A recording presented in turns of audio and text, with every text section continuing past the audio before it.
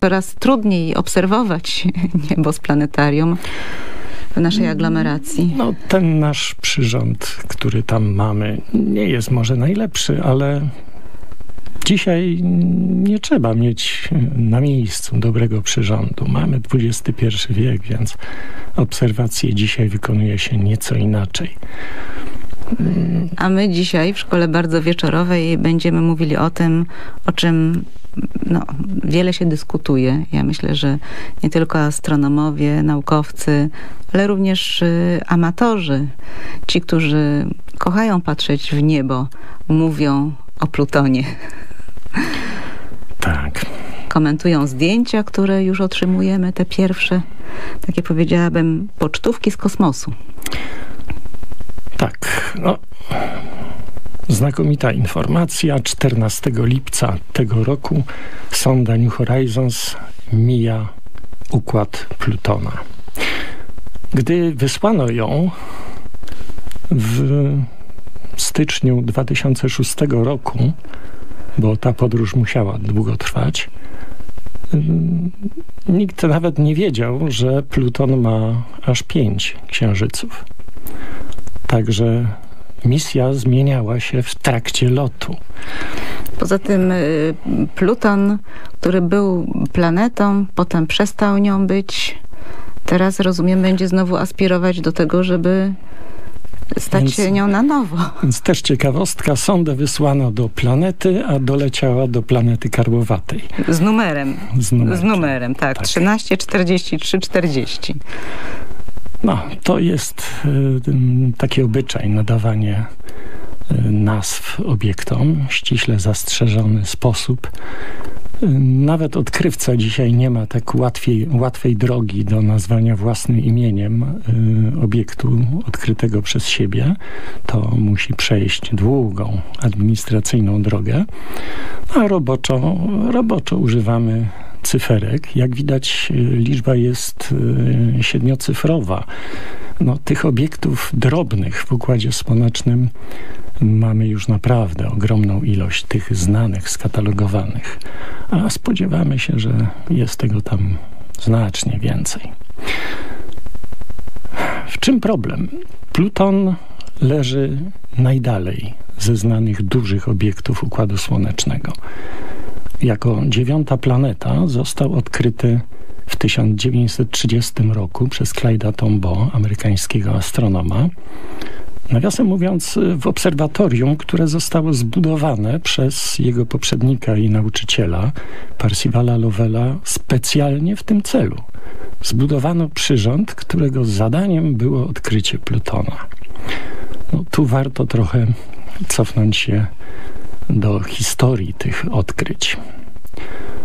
W czasach starożytnych, a tak naprawdę powiedzmy na etapie naszego wielkiego Mikołaja Kopernika, znanych było pięć planet, bo to te, które możemy zobaczyć gołym okiem. Co prawda nie wszystkie y, tak samo i, i, nie wszystkie tak wygodnie się obserwuje. No, Merkurego nawet Kopernik nie oglądał ani razu przez swoje długie życie, bo ta planeta niestety zawsze jest blisko Słońca, więc tu jest ogromny problem. A zatem planeta. Skąd nazwa? Planetes z greckiego oznacza według jednych e, wędrowca, a według drugiego mm, błądzę.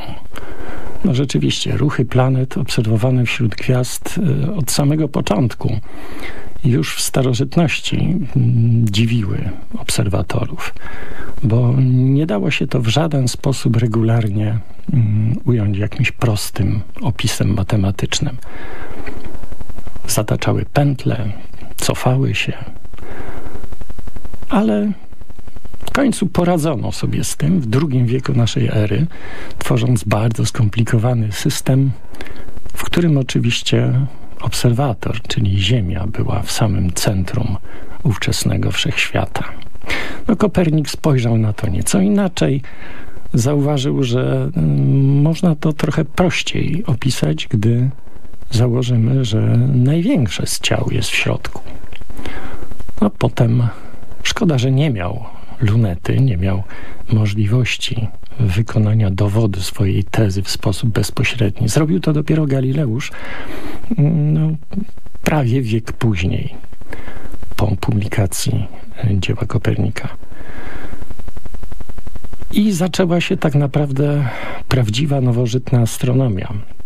Przy pomocy przyrządów optycznych, takich jak luneta Galileusza, czy późniejsze przyrządy, które zaczęły sypać się jak z rękawa, różnego typu um, o podobnym działaniu w każdym razie, pozwalające zobaczyć więcej niż gołym okiem, no, spowodowały wręcz rewolucję w astronomii.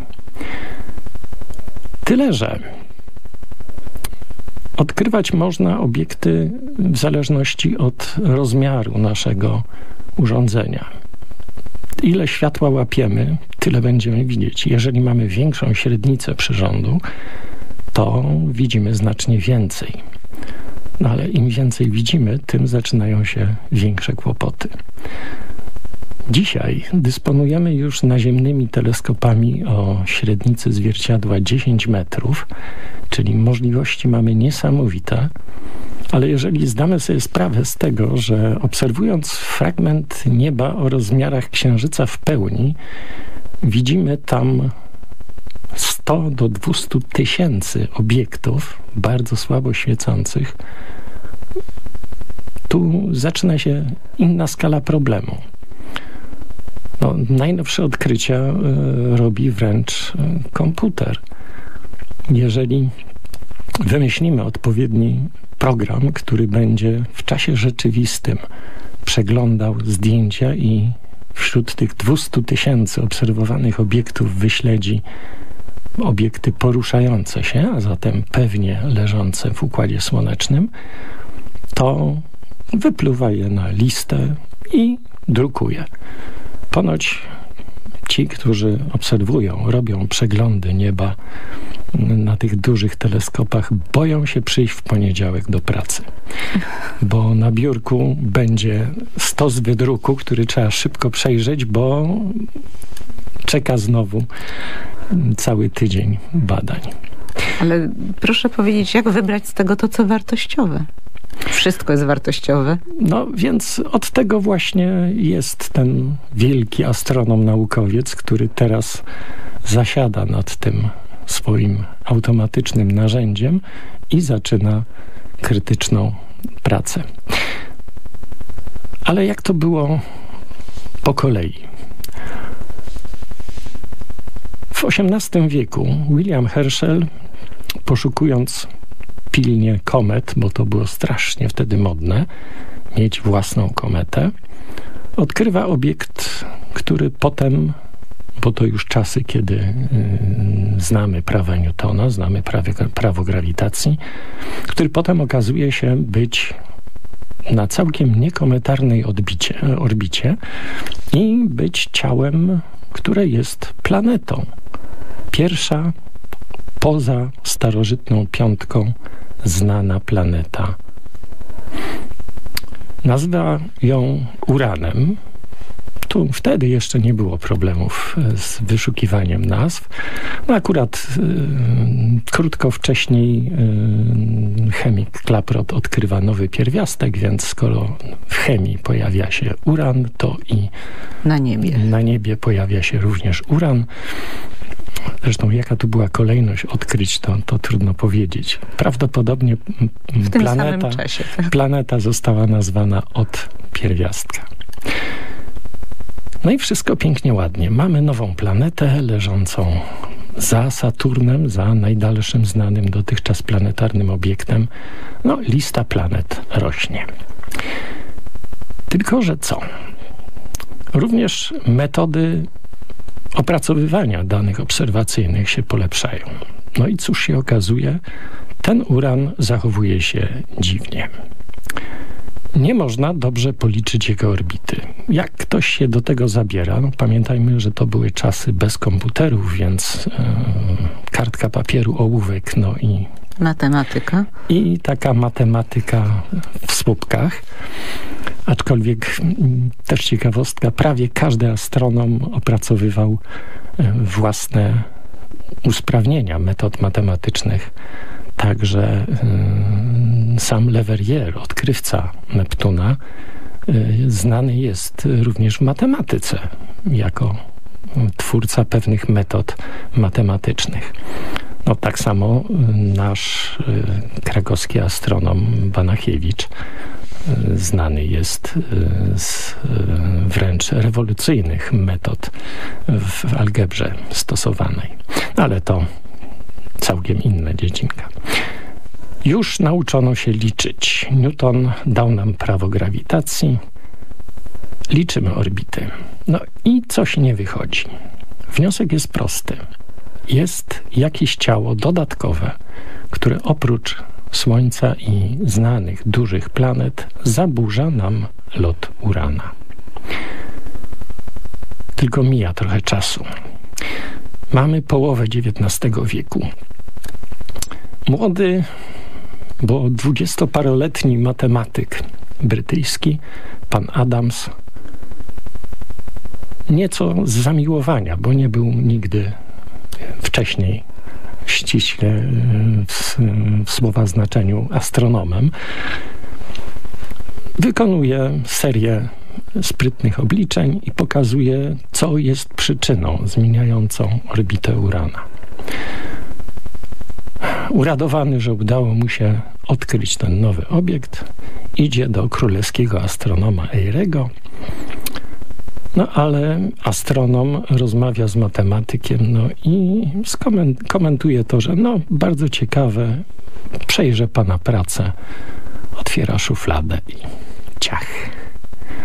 No jak tu brać od matematyka przykład? Mijają cztery lata i nagle Leverrier, Francuz, ogłasza, że odkrył Plutona. Na posiedzeniu mm, Rady Naukowej w Paryżu y, natychmiast oczywiście euforia, Metoda jest bardzo przejrzysta. Rzeczywiście można w ten sposób wykrywać nowe ciała, nie, nie wiedząc o ich istnieniu, poprzez prawo grawitacji. No i niestety nie można sprawdzić. W Paryżu są chmury. Telegram dociera dwa dni później do obserwatorium berlińskiego z dokładnością do rozmiaru tarczy Księżyca w pełni pozycja nowej planety okazuje się obliczona sprawnie. Nagle astronomowie dostali narzędzie, sprawne narzędzie do wykrywania nowych ciał. No fajnie, mamy Neptuna. No to zaczynają się dalsze zabawy. No to zobaczmy, jak jest z tą orbitą. No i znowuż, uwzględniając wszystkie przyczynki od znanych nam oddziaływań, orbita Neptuna również nie jest taka, jak powinna być. A zatem ciach, jedziemy. Następna. Tą samą metodą odkrywamy, szukamy dziewiątej, a może i dziesiątej planety. Mija 80 lat. Tak jak wspomniałem, Percival Lovell buduje specjalne obserwatorium nawet. Nowy obiekt jeszcze nie miał nazwy. Z nazwaniem Plutona to osobna całkiem historia. W każdym razie na jednym ze zdjęć wykonanych w obserwatorium Lovella pojawia się nowo odkryty obiekt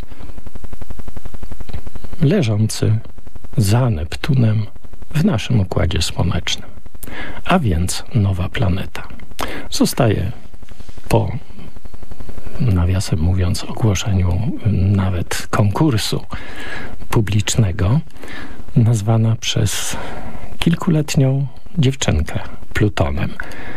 Ta nazwa przy okazji ma pewne magiczne znaczenie. PL, symbol nowej planety, Y, to anagram utworzony z liter nazwiska Percival Lovell, a więc ten, który przyczynił się do całych, całej serii odkryć. No i jest Amerykaninem. Pierwszy amerykański odkrywca na miarę kosmosu. No to potem miało swoje reperkusje. W późniejszych latach, yy, mając coraz doskonalszy sprzęt, wgapiamy się w to niebo i odkrywamy coraz więcej tych obiektów. Tu warto jeszcze zaznaczyć XIX wiek. Yy, dość symboliczna data. 1 stycznia 1801 roku w obserwatorium na Sycylii w Palermo Piazzi odkrywa pierwszą planetoidę Ceres.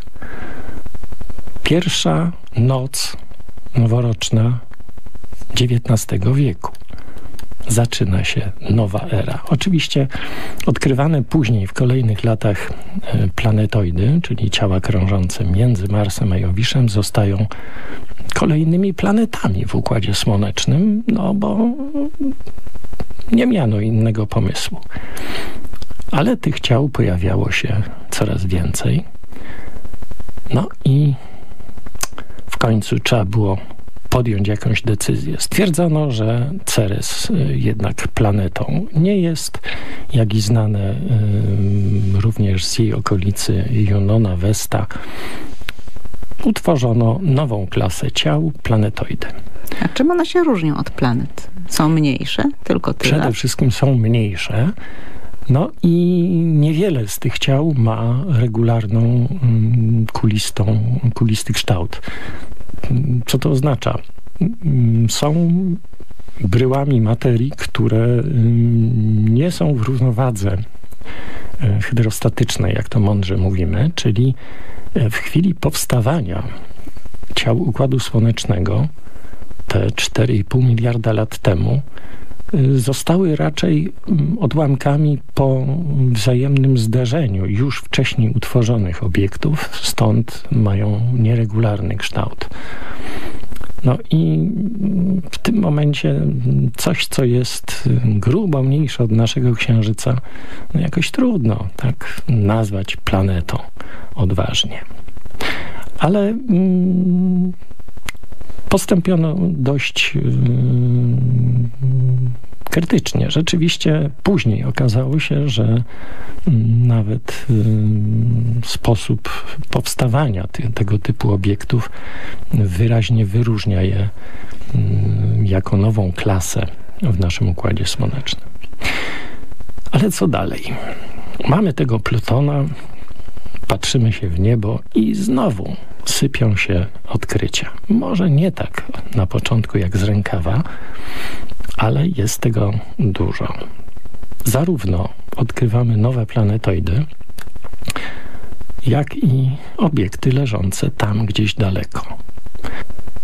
Księżyc Plutona, Charon, zostaje odkryty przez Christiego dopiero w 78 roku, 48 lat po odkryciu Plutona. No dlaczego? Na najdoskonalszych zdjęciach Plutona wykonywanych w latach 70. No, niektórzy twierdzą, że nawet y, Christie swoich studentów oblewał, y, zarzucając im niestaranną obserwację, bo obraz plamka zostawiona na kliszy przez światło odbite od Plutona wyraźnie była asymetryczna. Tylko, że zauważył, że to nie wynik niestaranności pracowników swojego obserwatorium, tylko ta wypustka pojawiająca się raz z jednej, raz z drugiej strony pięknej, kulistej plamki pojawia się z regularnością około 6 godzin. A więc mamy obiekt krążący wokół Plutona. Tu też taka ciekawostka. Mm, płaszczyzna orbity Charona ustawiona jest y, prostopadle do płaszczyzny orbity y, samej planety. W efekcie y, my ruch Księżyca mamy szansę dwa razy w czasie lotu Plutona po swojej orbicie widzieć jako ruch góra-dół. No, w przypadku pozostałych y, znanych nam na przykład księżyców Jowisza, to no, znowu mamy inną fajną sytuację. Wszystkie te księżyce krążą dokładnie w płaszczyźnie, prawie dokładnie w płaszczyźnie orbity planety, więc wyraźnie obserwujemy ich ruch z lewa na prawo. Tutaj sytuacja akurat taka inna nieco. Oryginalna. Ale sam księżyc trochę podobny do naszego. Tak na pierwszy rzut oka dla laika. I tu też ciekawostka. Yy, w przypadku Ziemi rozmiary naszego naturalnego satelity i planety są porównywalne. Księżyc jest raptem tylko trzykrotnie, trochę więcej, trzykrotnie mniejszy od Ziemi i stanowi to absolutny wyjątek pośród znanych księżyców Układu Słonecznego. A w przypadku Plutona sytuacja jest jeszcze bardziej drastyczna. Charon jest zaledwie dwukrotnie mniejszy od Plutona. A więc tak naprawdę obserwujemy obiekt, który krąży sobie, dwa obiekty krążące wokół no, wspólnego środka masy, który jest daleko poza powierzchnią masywniejszego Plutona. A więc nawet pojawiła się myśl, żeby nazwać go mm, planetą karłowatą podwójną. Mm, to też upadło. Stwierdzono, że jednak Charon jest porządnym księżycem. W każdym razie mamy już coraz doskonalsze przyrządy. W największych ziemskich teleskopach obraz Plutona jest tylko małym zaczernieniem na kliszy.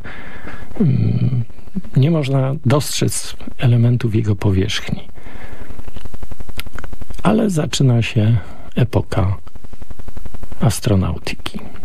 Mamy lata 70., mamy odpowiedni sprzęt techniczny do tego, by kamery wyrzucić na dużą odległość. I zdarza się niesamowita okazja. Na przełomie lat 70. i 80. planety ułożyły się w taki fajny wzorek, także za darmo, korzystając z czegoś, co nazywamy dzisiaj asystą grawitacyjną.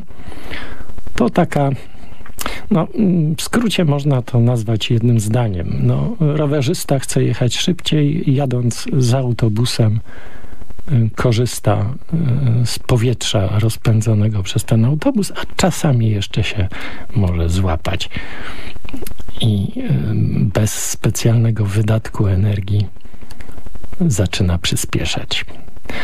Identycznie, mniej więcej identycznie wygląda to w astronautyce asysta grawitacyjna. No, ci, którzy znają to pojęcie e, z, z e, gier e, sportowych, to mogą mniej więcej skojarzyć, o co tu chodzi.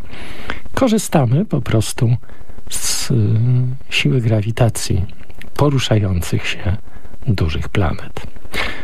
Daje to niesamowite oszczędności. W przypadku programu Pionier czy Voyager, czyli odwiedzania dalekich peryferiów Układu Słonecznego, zysk y, był no, niewspółmierny. To y, przelot koło takiego jednego obiektu, tylko z dobrze wybranej strony, powoduje zwiększenie prędkości y, statku kosmicznego, które wymagałoby dziesiątek ton paliwa. I w ten sposób, niejako za darmo, lecimy sobie dalej. A to dziwne ułożenie planet związane jest z tym, że po kolei, pożyczając sobie energię najpierw od Marsa, sondy zbliżały się do Jowisza, tam zyskiwały mm, z kolei dokładnie w prosty sposób energię na skok do Saturna, potem Urana, Neptuna. W efekcie odwiedziliśmy y, peryferia Układu Słonecznego w pewien sprytny sposób, prawie za darmo. No, ale trzeba to wyliczyć.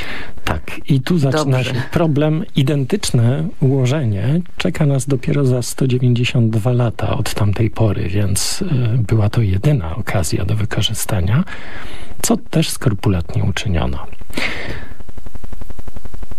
Oczywiście to, co przywiozły, y, przywiozły, przysłały na Ziemię Voyagery, to jest naprawdę bezcenna wiedza. Kilkanaście lat misji dało w, no, w astronomii planetarnej niesamowity skok y, informacji.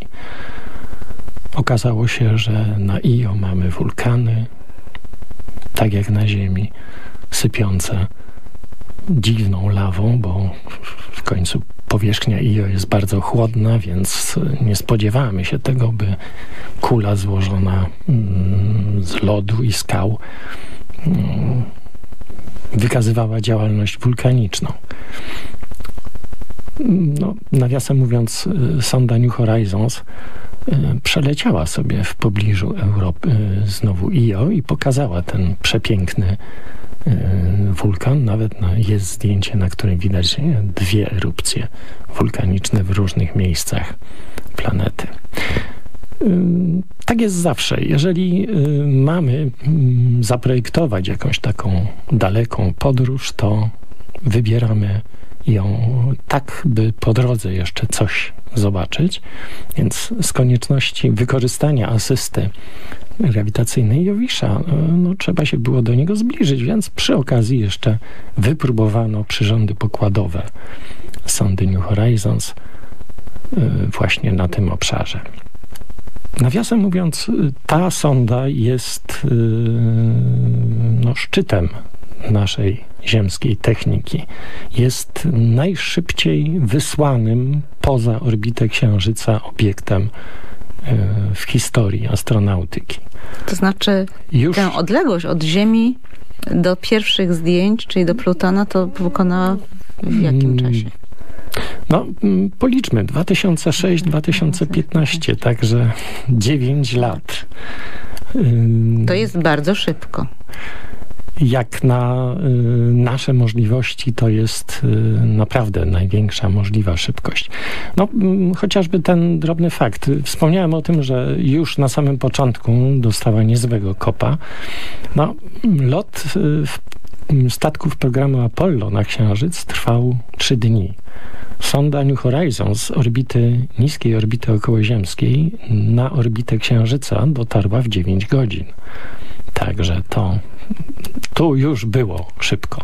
Ale to a znaczy, potem... że te zdjęcia, one będą do nas też tyle lat jest, wracać? To... A to jest teraz osobna, osobna sprawa. Pamiętajmy o tym, że y, Układ Słoneczny może nie jest duży, ale y, jednak odległości pomiędzy planetami są dość spore. No, światło słoneczne dociera do powierzchni Ziemi z fotosfery Słońca po 8 minutach.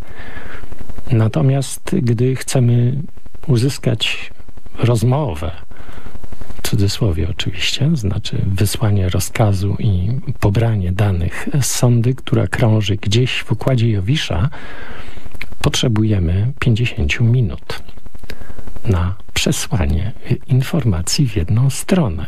Niestety, prędkość światła jest skończona, pokonując 300 tysięcy kilometrów na sekundę od czyli, Jowisza do nas. Czyli rozkaz idzie 50 minut, tak. a meldunek kolejny. Meldunek tak? o tym, że przyjąłem rozkaz trwa kolejne 50 minut. No, między innymi to jest największy kłopot sterowania misjami marsjańskimi, które tak pechowo są oceniane. Nawet w NASA powstała legenda, że w okolicy Marsa mieszka sobie taki potwór, który jak widzi napis NASA, to zjada sondę. Bo to tak mniej więcej wyglądało. W 2002 roku na 32 misje marsjańskie udały się cztery. Tak naprawdę do końca. A Marsa mamy tak blisko, a Pluton tak daleko. Blisko. No i stąd te problemy. Nie dość, że wysyłamy nasz aparat fotograficzny i parę innych ciekawych przyrządów na tak dalekie odległości, to jeszcze musimy stamtąd pobrać informacje. No i niestety, by informacja była bezbłędna, to szybkość przekazywania jest naprawdę niewielka. No jeżeli ktoś dziś, a przypuszczam większość naszych słuchaczy wie, co to jest, co to są megabajty na sekundę, to niech wyobrazi sobie, że z sondą New Horizons można gadać z szybkością od 1 do 2 kilobajtów na sekundę. Więcej się nie da. Także prawdziwe zdjęcia Plutona z bliska dotrą do nas mm, dopiero mniej więcej za rok. To co teraz oglądamy? Na dodatek jeszcze y, sonda ma stosunkowo niewielkie źródło zasilania. No, na takich odległościach już baterii słonecznych się nie stosuje. Są to radioizotopowe źródła y, termoelektryczne. Mm, no, jeżeli zobaczycie Państwo w internecie zdjęcie sondy, czy, czy jej schematyczny rysunek, to wystaje z niej taka na czarno pomalowana długa wieża. To po to, by promieniowanie termiczne tego kawałka nie zaburzało reszty przyrządów. Jest taka wystająca część. To właśnie ów generator pracujący bez przerwy no niestety z malejącą mocą i źródłem ciepła wytwarzającego energię elektryczną jest e, rozpad pierwiastka promieniotwórczego plutonu 238 i mm, po prostu ta część jest bez przerwy gorąca. Tyle, że w sposób nieubłagany ilość pierwiastka wskutek rozpadu maleje. No ale rok musi jeszcze ta sonda wytrzymać, żeby nam to Wytrzyma. wysłać. Wytrzyma. Wytrzyma, tak? Tak naprawdę mm, koniec możliwości mm, pracy przyrządów przewiduje się na nawet jest data określona 11 czerwca 2022 roku. A. Więc jeszcze, jeszcze Możemy być spokojni, trochę. materiał dotrze. No, oczywiście coraz dłużej będzie docierał. Tu też taka ciekawostka, y, żeby porozmawiać sobie y, z naszą sondą, nie można było jednocześnie robić zdjęć. Y, ze względu na trwałość obiektu zrezygnowano z jakichkolwiek ruchomych elementów. By zrobić zdjęcia, sonda musiała tak się odwrócić, że antena już nie była wycelowana w ziemię. Zresztą znowu moc elektryczną mamy skończoną, około 200 watów i w razie transmisji z ziemią trzeba jak najwięcej tej mocy przekazać do nadajnika, a nie do jakichś tam niepotrzebnych spektroskopów czy kamer. Stąd też wiem, praca y, komputera pokładowego sondy była y, bardzo dobrze zorganizowana. Przelatując w pobliżu y, Plutona, wykonywał oczywiście wszystkie badania Plutona, Harona, pozostałych księżyców, fotografował jak się dało i gdzie się dało, ale tylko i wyłącznie ładował to do pamięci. Dopiero później odwrócił się anteną w stronę Ziemi i podał pierwszą informację, która dotarła do nas i tutaj trzeba sobie zdać z tego sprawę dopiero po ponad sześciu godzinach. Także problemów jest dużo. Ale zdjęcia są. Zdjęcia są, natomiast Rozumiem, maju... że będą jeszcze za rok zdjęcia z bliższej odległości. Oczywiście. Dla astronomów może ważniejsze są nie same zdjęcia, bo y, tak, fotografować sobie coś od, po to, żeby mieć pocztówkę z Plutona, y, samo w sobie nie miałoby najmniejszego sensu. Cały zestaw przyrządów sondy dokonuje um, pomiarów um, zarówno składu atmosfery, o ile taka istnieje, bo trzeba się było o tym przekonać. Um, można wykonać na odległość, przelatując te kilkadziesiąt kilometrów od powierzchni ciała, wykonać analizę chemiczną. Jesteśmy w stanie przy pomocy współczesnych metod dokonywać takich zdalnych badań. Także no wiadomo, że atmosferę mm, nasz y, Pluton ma, aczkolwiek y, no powiedzmy bardzo rzadką. Jeden mikrobar, jedna milionowa ciśnienia ziemskiej atmosfery. ale jednak to nie jest próżnia. Wiemy, z czego składa się powierzchnia planety. Także wiemy o, o tych ciałach bardzo wiele. Co nam to daje? Mm, tak daleko od Ziemi yy, znamy wiele ciał, które są, tak sądzimy przynajmniej, wiernymi przechowankami yy, pierwotnej materii, z której powstały, powstał cały Układ Słoneczny. Bo Pluton jest najmłodszym no, obiektem. Trudno to tak od razu powiedzieć. Y, te y, właśnie y, raczej inaczej. Nazwałbym to bardzo starym obiektem, bo w chwili, gdy tutaj bliżej świeżo zapalonego słoneczka, te 5 miliardów lat temu, mm, działy się procesy, które możemy łatwo poznać, badając najbliższe nam otoczenie to te obszary dalsze są dla nas dość zagadkowe. Już sam fakt, że istnieją obok Plutona, a znamy już kilkadziesiąt obiektów transneptunowych leżących na peryferiach Układu Słonecznego,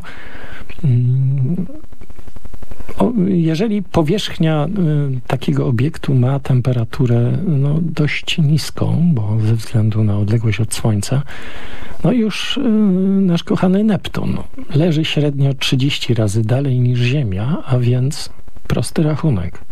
Na każdy metr kwadratowy dostaje 900 razy mniej energii. No i powierzchnia chmur na Plutonie to jest około minus 200 stopni Celsjusza. A im dalej, tym chłodniej.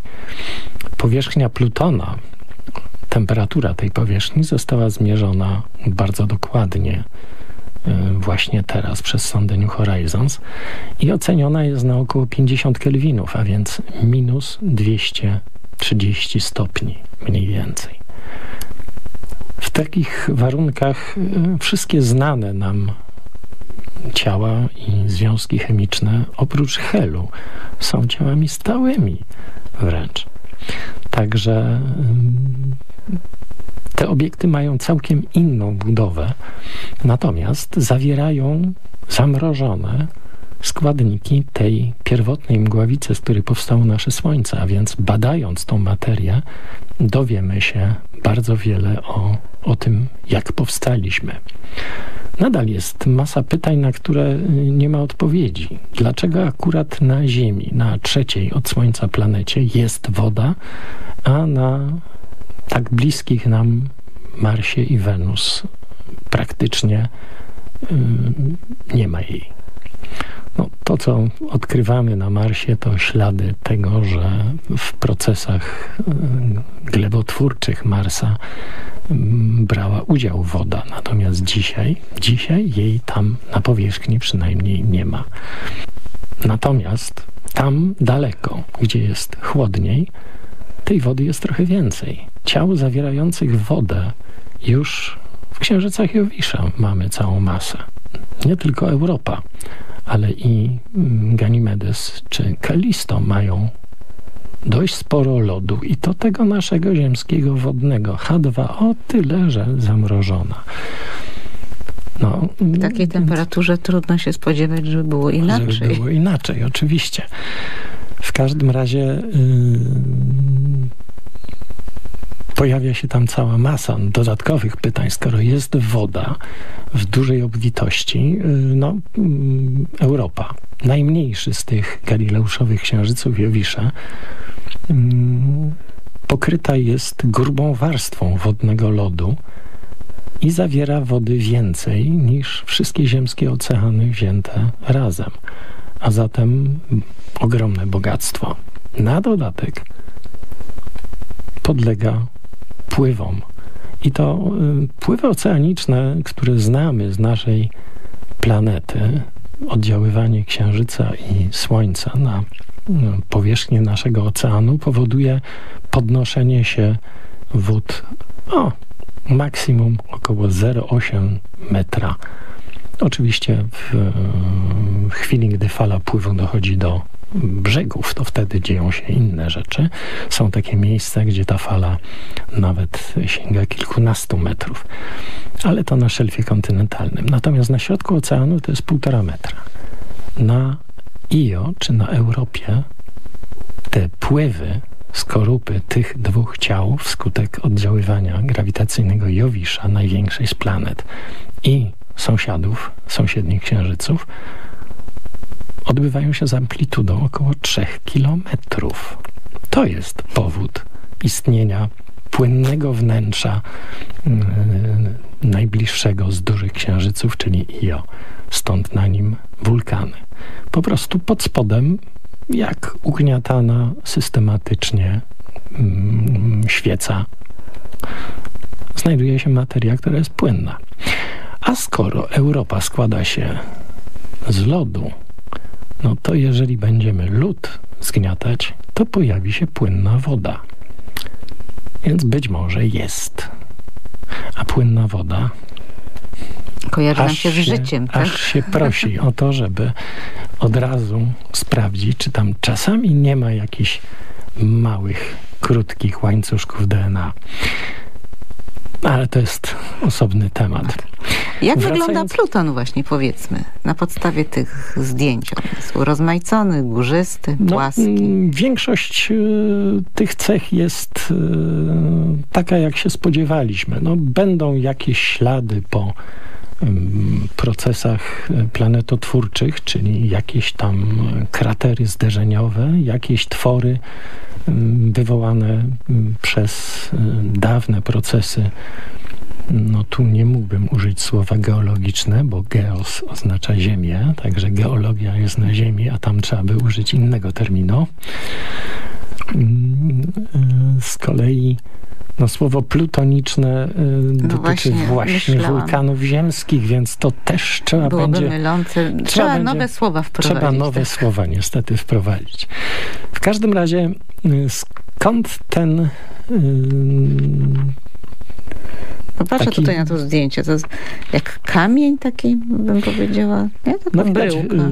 Wyraźnie nieregularna. nieregularną bryłkę, więc y, są pasma wzniesień, jakieś uskoki, więc y, oglądając tylko takie zdjęcia można już wysnuć y, parę a, jeszcze wiedząc o tym, co to za materiał, to zamrożony metan i azot, także y, coś no, innego niż Trudno nam sobie ziemskie. wyobrazić zamrożony metan, prawda? My go znamy trochę no, W ziemskich laboratoriach y, zazwyczaj jest gazem, natomiast tam warunki mamy drastycznie inne, więc mm, też musimy się do tego przygotować. Oczywiście y, nasza wiedza jest już, y, jeśli chodzi o własności ciał w niskich temperaturach, y, na tyle pokaźna, że nie ma specjalnego problemu, by y, odpowiedzieć rzeczowo na y, pytania, które pojawią się przy analizie tego układu. A co nas najbardziej interesuje? To znaczy mówię o naukowcach.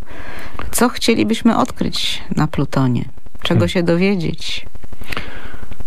No troszkę o jego historii. Wokół niego, znaczy wokół niego, to jest następna rzecz. Wspomniałem o tym, że y, sonda wyruszając, wyruszała do planety, która miała jeden księżyc. Ale przy okazji zaczęto dokładnie przyglądać się księżycowi. No i tutaj już nie z naziemskich, e, naziemnych te, teleskopów, bo e, obecność atmosfery e, prawie uniemożliwia obserwacje szczegółowe takich mm, dalekich peryferiów, ale najwięcej dał tutaj HST, kosmiczny teleskop Hubble'a. W ciągu kolejnych lat okazuje się, że oprócz Harona wokół Plutona krąży jeszcze pięć innych księżyców. No, tu mitologia dostarczyła yy, imion. Najpierw Nix i Hydra pojawiły się, także mamy już trzy księżyce. No a potem jeszcze znalazł się tam Styx i Kerberos. Także mamy już komplecik. Oczywiście mm, znowu można sobie zobaczyć w internecie zdjęcie wykonane przez kamerę y, CCD zamontowaną na teleskopie kosmicznym Hubble'a. Y, no, ze zdjęcia, na którym widać parę kropeczek zwykły śmiertelnik nic by nie zauważył, no ale wykonując serię zdjęć widzimy te ciała w ruchu. Stąd mamy dowód, że są to księżyce. Yy, obserwacje e, wykonywane tutaj z mm, okolic Ziemi nie pozwalają e, w sposób bezpośredni na przykład powiedzieć, jaki jest stopień odbijania światła, czy mm, rozmiary naszych obiektów. o tym, że obiekt ma masę, to wiemy tylko i wyłącznie, jaką ma masę. Wiemy dzięki prawo grawitacji Newtona.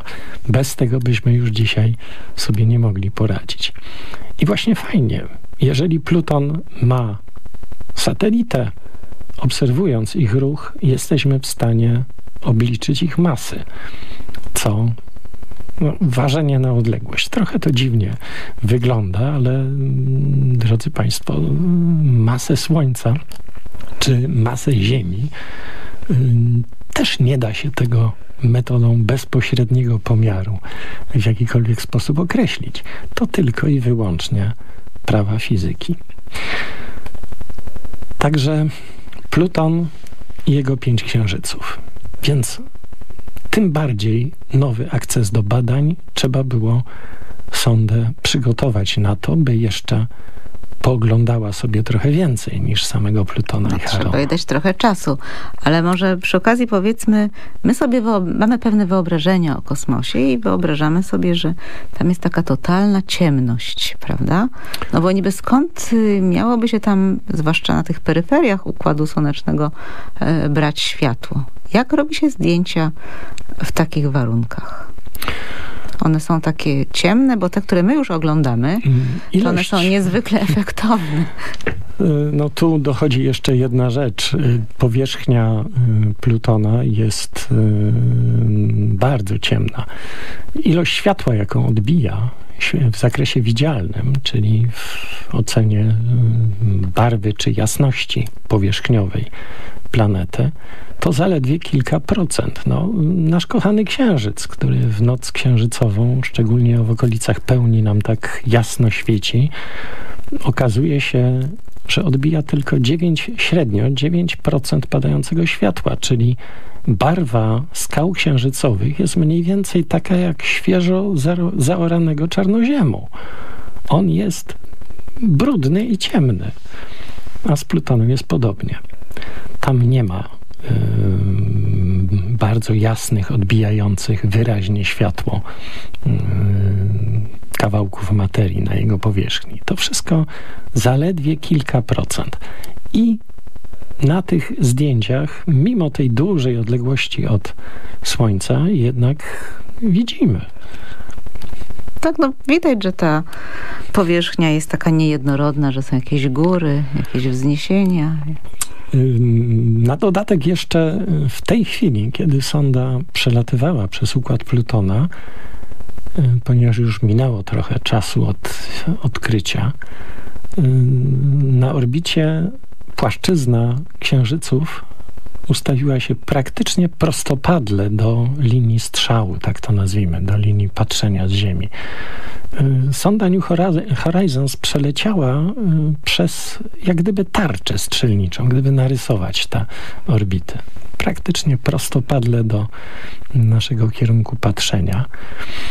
A zatem y, to piękne zdjęcie, które jest w internecie, to tak naprawdę jest mozaika zdjęć wykonanych nieco wcześniej, bo części powierzchni Plutona oczywiście mm, sonda nie była w stanie sfotografować. Przelatując w jego pobliżu miała prędkość y, po tej asyście jowiszowej niewiele mniejszą od tej, z jaką opuściła y, układ y, Księżyc-Ziemia, czyli ponad 16 km na sekundę. No, w tym czasie y, sam przelot naprawdę trwał powiedzmy błyskawicznie. To są e, minuty i godziny, kiedy trzeba e, wykorzystać do granic e, możliwości aparatura, by zebrać potrzebne dane. No i oczywiście oddalamy się już w tej chwili od naszego kochanego Plutona. Przesyłamy dane na Ziemię i co dalej? Ogniwa pozwolą pracować jeszcze długo, długo. A zatem wybrano nowy cel.